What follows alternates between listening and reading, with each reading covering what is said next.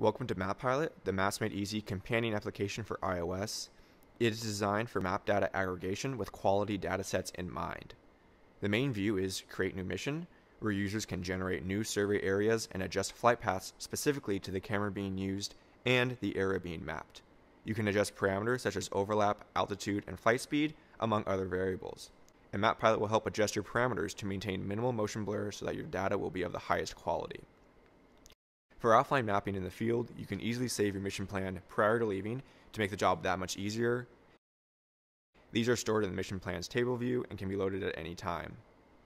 The file manager is where all your files are stored, whether that be the CSV and KML log files, or the imported files such as KML and GPX overlay files, and your MME boundary layers. Once missions are completed, check out the data transfer view to interact with the images taken on the drone you can download full resolution images and then directly upload to Maps Easy to kick off a mapping job, or just download the thumbnails to do a quick map.